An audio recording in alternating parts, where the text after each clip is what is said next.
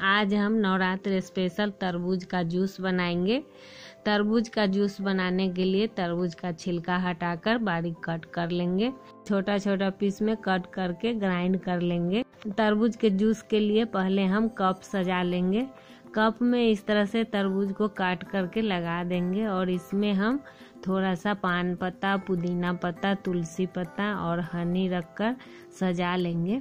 इसमें हम ice cube भी रखेंगे और मिक्सर जार में भी हम पान पत्ता, पुदीना पत्ता और तुलसी पत्ता और थोड़ा सा हनी रखकर ग्राइंड कर लेंगे।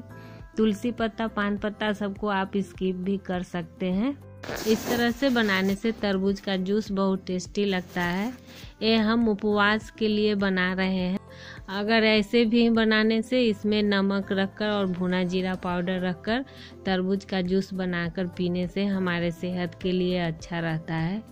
इस तरह से तरबूज का जूस बनाकर उपवास में पीने से हमारे सेहत के लिए अच्छा रहता है और पेट भी ठंडा रहता है और ज़्यादा समय तक भूख भी नहीं लगती है। नवरात्र स्पेशल हमारा ये तरबूज का जूस का रेसिपी आपको पसंद आए तो लाइक और सब्सक्राइब कर दीजिए बेल आइकन को प्रेस कर दीजिए, धन्यवाद।